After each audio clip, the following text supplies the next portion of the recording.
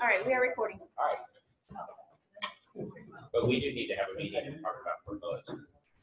You decide. Because of the MCA.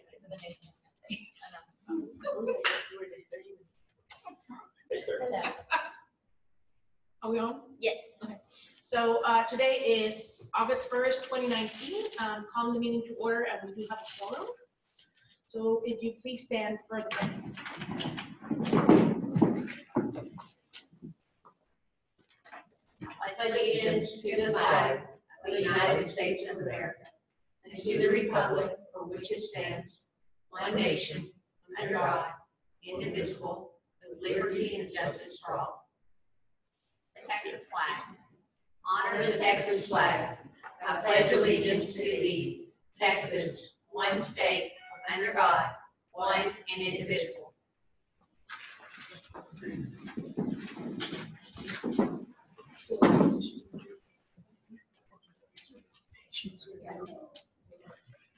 All right, so the first item on the agenda is to swear in uh, Dr. Yanira Oliveras uh, Ortiz. She has uh, been reappointed uh, to the board from the College of Ed and will serve as president uh, again for another two years.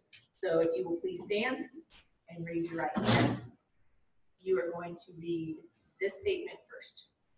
I, Yanira Oliveras Ortiz, do solemnly swear that have not directly or indirectly paid, offered, promised to pay, contributed, or promised to contribute any money or things of value or promise any public office or employment for the giving or or withholding of a vote at the election at which I was elected or as a reward to secure my employment or confirmation, whichever the case may be, so help me God. You will sign that statement, please. All right,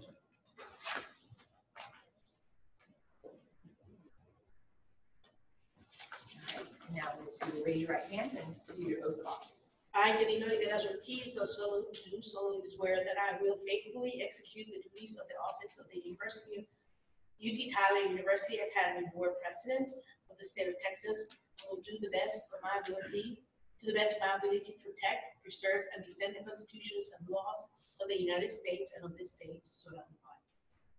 You sign that. And then these documents will be notarized by our notary. Welcome back to the board. Thank you. Okay, so the first item on the agenda is the consent, on the consent agenda is are the minutes from the July eighteenth, twenty nineteen meeting. Um, We received those via email. Any questions or comments about the minutes? We have a motion to approve the minutes from the July eighteenth meeting. I'll make that motion. Mr. Cameron, we have a second? Second. Thank you. All in favor? Aye. The next item on the agenda is the request of approval of the policy updates. We have two policy updates. And we received those documents via email. Uh, no, actually, unfortunately, well, you did. Yeah, we just- did, yeah. Just recently, I'm sorry. Um, it took me a while to get those, um, compiled and to talk to Dr. Simmons about these. So the first one is the 400.140. um. It is regarding student health and, uh, student safety. Um, and they, they snuck in an update, um, back in December that I was unaware of and, and officially, or initially when I looked at it, I thought that it would be something that we might be covered under the university policies with the campus police department. Um, but after discussing further with Dr. Simmons, um, we were asking to add this section in, it's section four point two. Um, it deals with unauthorized persons and refusal of entry, election, uh, ejection, identification, and appeal. Um, basically, the statements are, uh, surrounding what happens when somebody comes on the property who has caused a scene or something has happened that you no longer want this person on the property, how, what your rights are to have that person removed from the property and basically prevent them from re-accessing the property again at a later date. Um, it does state that, um, you know, in the event that you can, uh, the statement? Uh, the statement says that the term of a person's refusal of entry to or ejection from a UTTUA property under this section may be up to two years. You cannot extend that beyond two years per law, um, for legal, uh, statements. But you do have to, um, allow them by law to have admit, uh, access for their child's admission, review, and dismissal committees, so your Rs, um, a child's five oh four meeting, or due process hearings and, um, parent-teacher conferences. So in those situations, you would essentially, they would be required to be escorted and have, uh, an appointment basically to be on campus, where you know that they're coming and they're being escorted. Very similar to the, the statements that we already have in section four point three that refer to what happens with a registered sex offender. Um, as a parent of a, of a student enrolled in our campus, there are certain things that you cannot, um, restrict their access to their child's educational needs. So, um, that whole section pertains to how you basically go through that process and it defines to them that there is a way for them to appeal, um, which is our grievance policy, to three hundred point one two zero, which would be the appeal process. We just felt the need to put it in there, although we have amazing parents, um, in the event we are in a situation that it is in our board policies, um, and it would be supported, um, to remove the person if needed. So what would the process be, say, an irate ex-husband shows up at the school and becomes violent or threatens violence? Any staff would call UTPD? Correct. They would respond here to the campus and then they would issue. Yes, correct.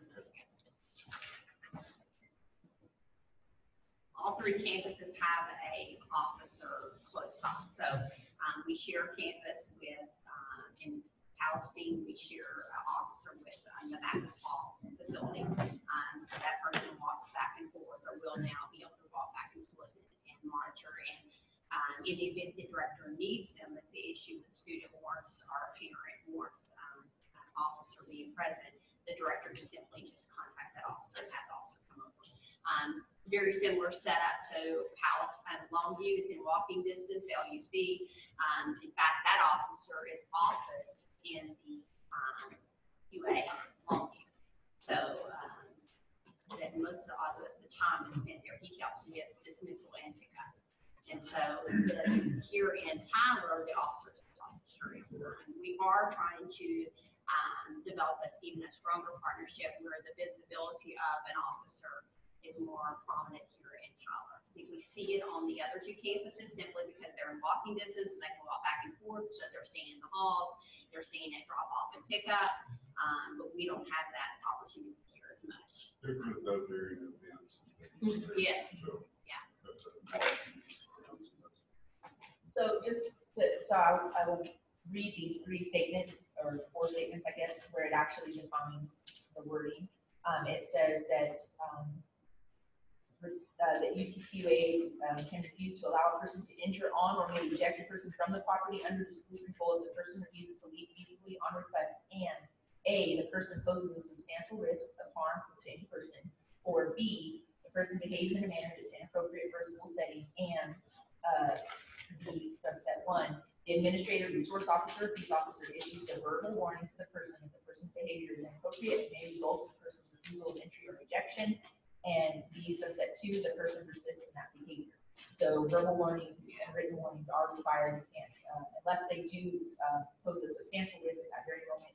And, but in, in terms of permanently, uh, um, uh, banning them from your campus, you have to show that you've given them verbal and written warnings Any other questions?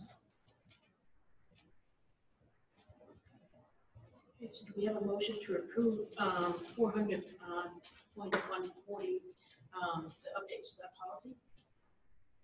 Make that motion? We have a second? All in favor? Please say aye. Any opposed? Thank you. Then we have the approval of the next policy. Okay, so the next policy is four hundred point one six zero. Again, they snuck this in in December. Um, it's very simple. It's section five. Um, all they're basically doing is saying that we do have a, a approved field trip form, um, that we use and that has been approved. We have had the form for many years and it has been being utilized. Um, so this is just more official, it actually being stated that we have such a, a form. And it includes a copy of the form that we utilize in addition to, um, so there's the actual field trip form, which basically covers, um, you know, the event and, and the information, how they're gonna get there and whatnot. But then we also had found the need for, um, and they suggest having the form for if a legal guardian requests to transport their own child or children to the event, to have a separate form for that, because many times you know, you want them to be on the bus, you want to be responsible for their transportation to from.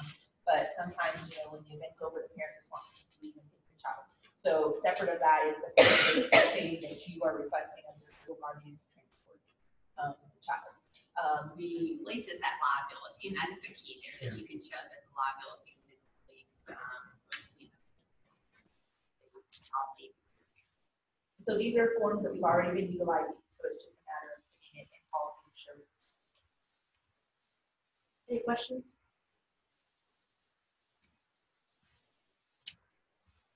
Like the other form for the legal.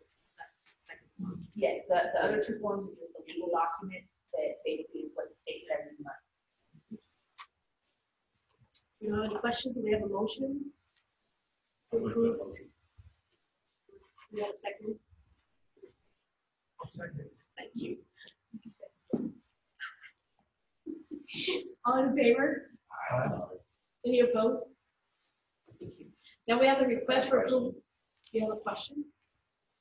Does the new harassment rule not apply to church?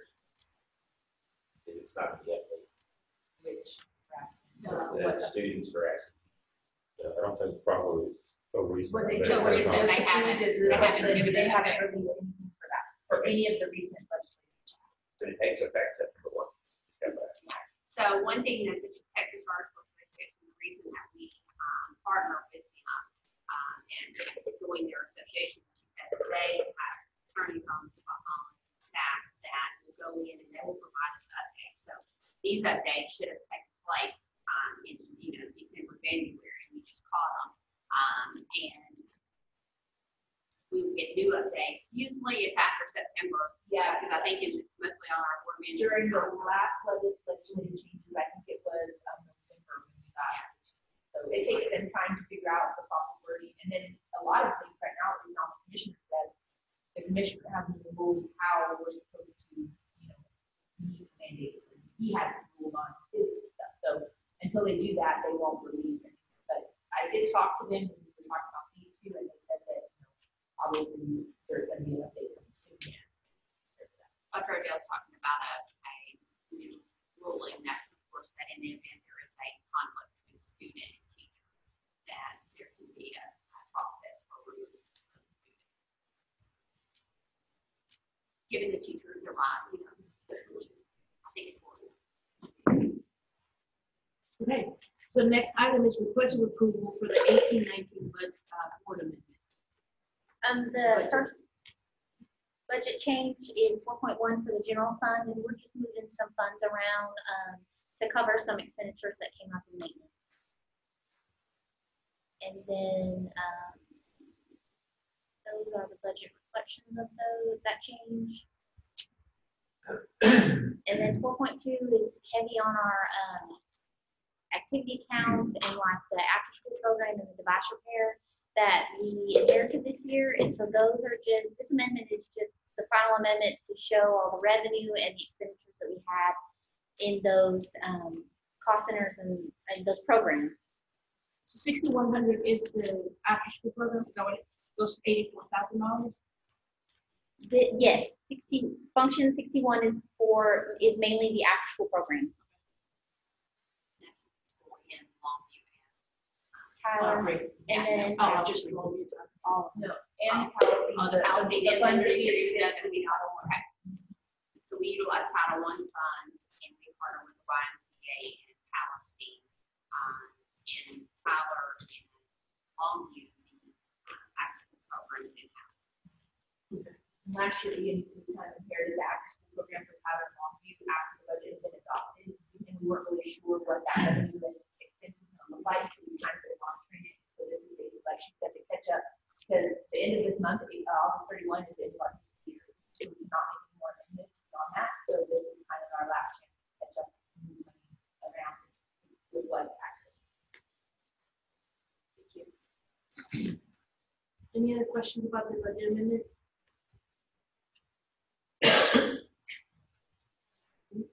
Did we have a motion to approve the budget amendments for eighteen nineteen? I guess the last one, the last amendment for the year. I'll make the motion. We have a second? Second. I don't remember the thing. Um, all in favor, please say aye. Any opposed? And then we have the request for approval for the nineteen twenty twenty. um, budget. All right, so this was the, um, primary purpose for calling this meeting because, um, we've got to adopt our budget for the nineteen twenty school year. And I apologize that you all didn't get a chance to review it. Um, we were trying to finalize, um, all the requirements, um, with it that House Bill three has impacted us in some manner. I shared with you all last time, so, um, as we know, amendments can be made, as you are aware. have them on the three or four meetings, so this is proposed.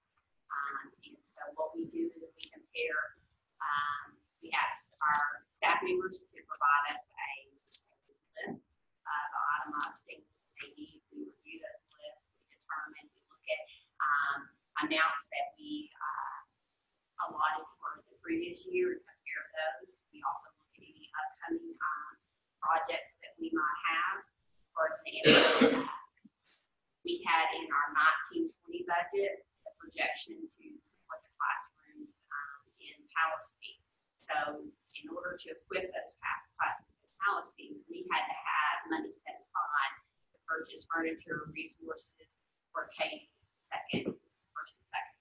So we have to think through all the way through the summer. So any training, any um, uh, products, um, that instructional material that we're gonna need to kick off the, the uh, twenty twenty-one school year, we always have to think ahead. Um, so, A question, um, couple of things, um, the fund balance, can you explain the huge difference between the two? Are you talking about the very top line? Yes. Um, the, so for on our 18, 19 year, we took two hundred thousand dollars from our fund balance to use towards the building payments. And then this year, we are not doing that for the general fund. That we are only taking a small portion from the device repair funds to, um, cover some expenditures that are gonna come up through the year. Thank you. Building, yeah, that's, I figured that was it.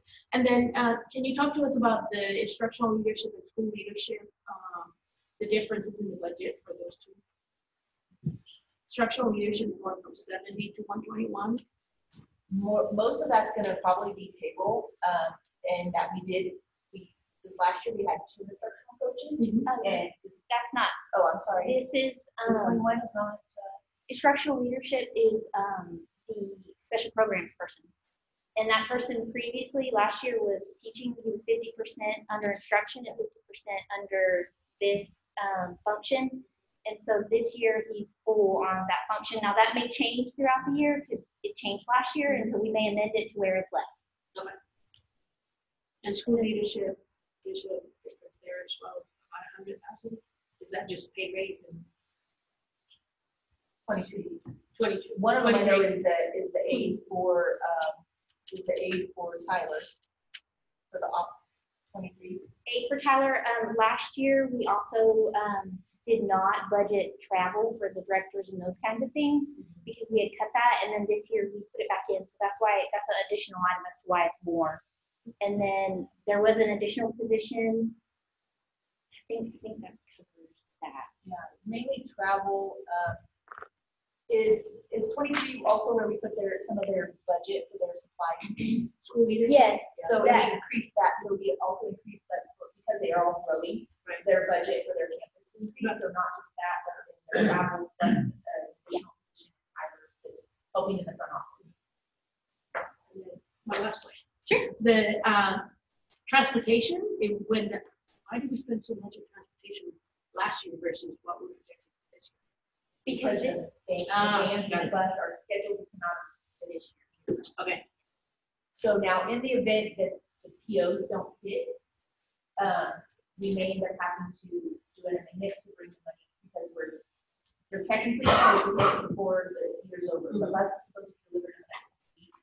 So those funds are the vans and the bus they end up having to like, so that would, all that would end up doing would be your reserve on your eighteen, nineteen would be higher, you wouldn't have spent it. Right. And then we'll just transfer that expense to this. And then community service, um, you said that it's the after-school program, Yes, um, so it's doubling pretty much the budget. Well, that fifty-seven doesn't include what you just approved. Ah, got it. yes. Okay. Yes. Thank you. Are you are you comfortable decreasing maintenance operations so much? Well, it's mainly the buildings. that are used off for Longview. Okay. doesn't include support. Because last year we paid, last year the budget was four hundred and seven thousand for the things this year. It than we would have already got, uh, Longview. So we've already paid off, they've already taken the money out. Which they've got to take, say they know. yeah, which I saw the email. The Longview will be, um, paid in full.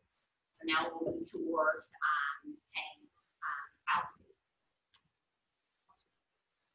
Any other questions?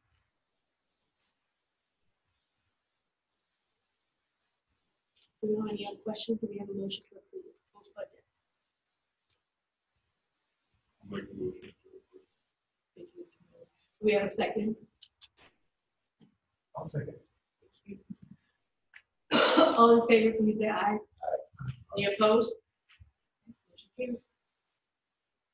And Then we have, do you have any informational items for us? Um, no, because I know we just met, so enrollment projections are still strong. We're still getting parents calling, um, wanting to know if their child's going to get accepted. Um, and also still have strong interest in just getting information about the school. So real excited. I'm looking forward to, um, the growth that we're having and opening up the new campus and the, the new, um, grades in Palestine. Exciting year. Great. Great, great. yeah, that's what we, that's what our next focus would be.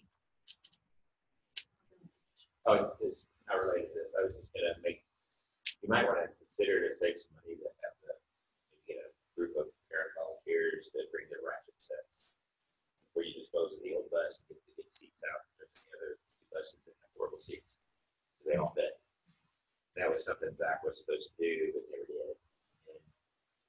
We've been trying to talk to them about what we even are allowed to do with that old bus, or like disposal of the bus, and that That's, I'm just saying the seats in that bus are perfect, the Okay. seats in the other We'll two look at buses, but you'll save a hundred dollars on the seat.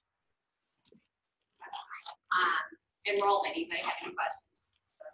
In a strong position there. Facilities, um, updates, we discussed that. Um, forward, got a group of us going over to Palestine this afternoon, um, to walk the campus. Um, Feedback that I've, you know, um, they're, they're, we're moving in. Um, I talked to Andy Kraus every day, giving me an update. Um, everything looks strong, set to meet the time requirements. So we're really, um, excited about that opportunity. If you haven't had a chance to, um, take a look at the new gym or the the renovations here in Tyler, um, that area definitely is not, we're really excited to have, um, that renovation. So Facilities continue, we definitely want to continue the conversations. As you can see, Longview does have our strongest wait list. That will be an area, once we get, um, school started, um, I'll be meeting with Dr. Hickey to make some projections on what we can do to support that growth there. Any questions regarding facilities? Final number on the list was two eighty-one. Uh, it is two, uh, two ninety-four. So, it- you know, it was eighty last time, we didn't know it grows, and like I said, we, the problem right now we're having parents, when they find out what number they are, they don't even want to complete the application. Um, but we try to encourage them to at least complete it for us, because it helps our position. It could be over three hundred pieces. Oh, yeah, very easy. And so that, that's, that's getting pretty strong. Um, I remember we didn't have a wait list, so that's, just, you know, see the growth is, is exciting. Um, so any additional questions? Danny, you want to comment on Palestine? I know the community is excited.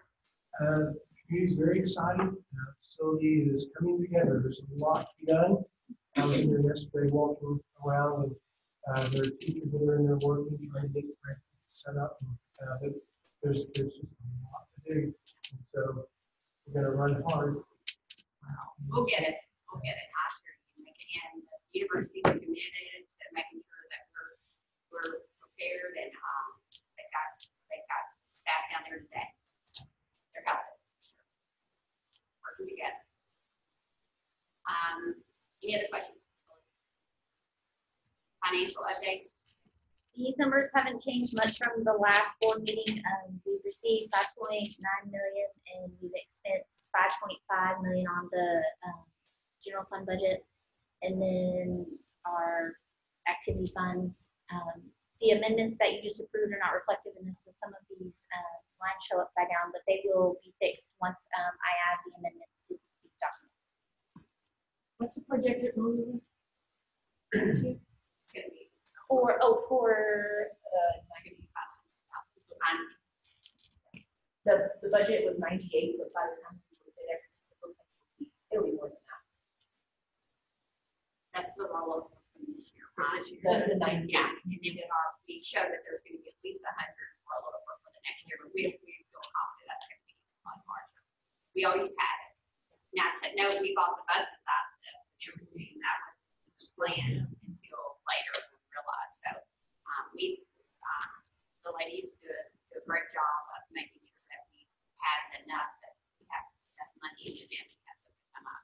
How many students do you project for the, for the budget? I think it was, is it eight thirty-one? Say, what, I'm sorry? How many students? Is it eight thirty-one?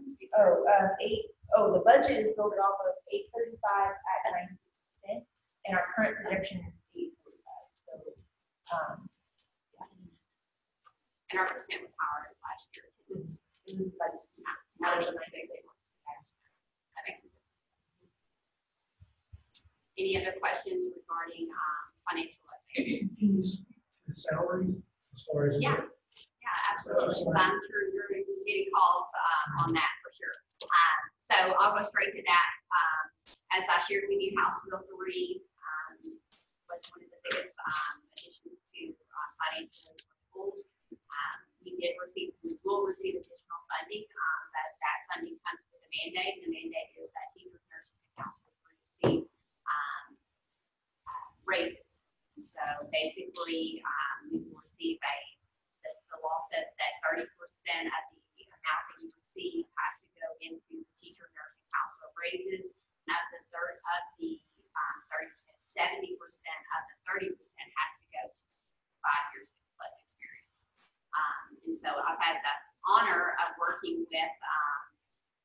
Kiki and Dr. Sherman and um, Jay McCrar, all of us kind of putting our heads together and trying to um, identify a way to support that. Um, as I shared with you all in the past, um, we currently have a, a, our current pay scale is we bring teachers in at forty two five.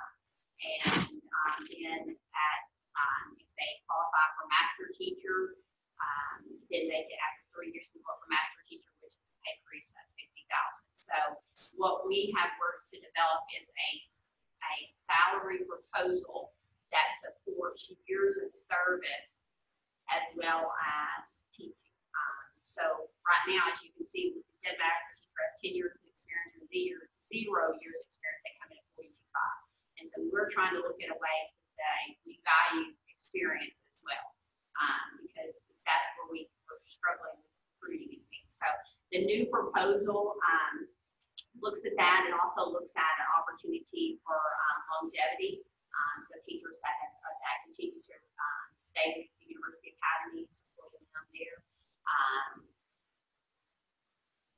trying to think what else I can say since it hasn't been actually approved, um, um, it's been presented and the final approval goes to, the- uh, to the president. So, um, So there's no numbers that you can say now. no, I, I know that it, right now, um, districts are sharing, basically, they're saying we're giving teachers X percent or X dollars raises. I will tell you that based on the proposal, our raises will not be just a flat raise. Um, because we do not have a current salary scale, every teacher will get a different raise. Now, if we had a current salary scale, we can easily do as other districts say, all of our teachers are getting X number of dollars. But because we don't even have that salary scale, we had to first create that and then look at trying to align where they're currently at. So the five-year plus, is that, that's on That's something we're really looking at. Correct, are. Oh, we No, are, We, okay. by law, That have is- to uh, I will tell you that we are, um, spending the entire hundred percent of the, um, House Bill three additional funds as, as well as other additional funds. Because in order to create a salary scale, and then on top of that, to provide the raises, it's gonna cost us more than, um, the amount we're receiving, which is around two hundred eighty something thousand dollars that we'll receive in House Bill, Our district. our district. Correct. Dr. Hickey, Dr. Sherman, any comments you want to make on that? I think uh, some of the critical attributes that we tried to build into the new system is that first of all, it'll be very competitive with area school districts. Second of all, it reinforces uh, teachers who have master's degrees, which is one of the aspirational goals that we have, that every teacher in the UA has a master's degree. Uh, It does recognize longevity here at UNet within the uh, university, small uh, recognition there. And it also values uh, pre-service teachers who come from our program here at UT Tyler. And so there's an aspect in there of the budget, there's something built in there that if it's a zero-year teacher from UT Tyler, there's a small recognition of that, that's recognition. of that. Absolutely. So those are just some of the quick attributes, but uh, it's on its way to the provost. So we need a projected idea of what, that's gonna be presented. Yes, so our goal, I do want to say something before I get answer the question, um, that I was thinking about when Dr. Sherman was reviewing, um, and I just lost it, so. Um, oh, I know what I was gonna say. Please note, we have not, this is not something we've been taking lightly. Um, we had a pretty firm plan, and just this week, there were, we received, there were four districts that released their salary scales. And we saw that salary scale, it made us want to adjust based on more competitive. So we had something last week, we were pretty solid on it, and then four school districts in our local, in our areas, and that impacted, um, all three of our areas. Um, and you may- be aware of Palestine posted theirs, Jacksonville ISD posted theirs, Tyler has, um, Chapel Hill, Tyler. So we just gathered those, that information, and that really made us relook at um, ours closer. And so I think we're in a better position now. I think you're gonna find that the teachers are gonna be very pleased. Uh, I think I can to that, um, and the staff at at large. Um, our proposal does include all staff, I will tell you that. Um, because of the equity, um, when you increase teacher salaries and then you have a whole nother group of staff members that don't costs, usually costs the equity balance. So, um, the proposal that we were submitting doesn't just show an increase for all UA staff. Um, so to answer, to, um, go back to your question, we, ask me that again. Just, we projected data is when it's. Oh, so, um, it has been sent out to, as Dr. Sherman said, to the provost, once it is approved, um, by the president, um, we will be in position, because it's reflected in the budget you just adopted. So we will be in the position to be able to begin communicating that to teachers. My goal is to communicate it at the annual meeting, um, and be able to share with them how we came about and, um, with the set, creating a salary scale. We will have to present them all with new, um, agreements, so they will have it in writing their new salary for the, the nineteen twenty school. If I could just, just for our community members, most salary schedules in the state Texas are built on longevity. And UT system does not permit just pay increases based on longevity, they have to be based on merit and performance.